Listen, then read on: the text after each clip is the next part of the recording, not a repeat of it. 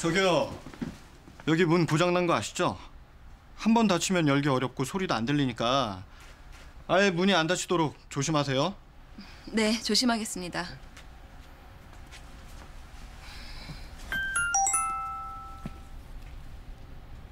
식사했어요?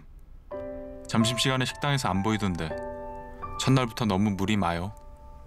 그러다 탈나요.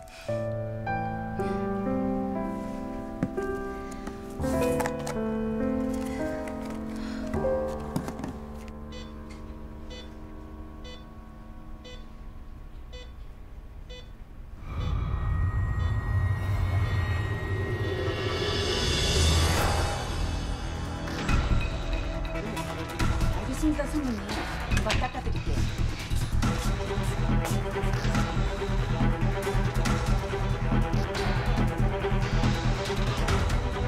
회장님.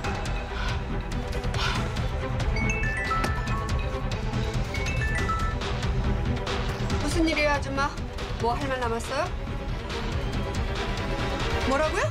회장님이 깨어나셔? 네, 방금 일어나셨어요. 고개도 움직이시고 저랑 눈도 마주치시고요. 알았어요.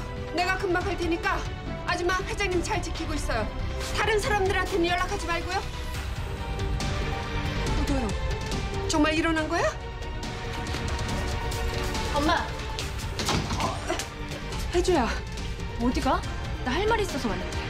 손녀리 말이야. 빨리 하루라도 내보낼 방법 찾아야지. 엄마 지금 나가봐야 되는데 나중에 마저 들으면 안 될까? 엄마, 엄마! 뭔일 있나?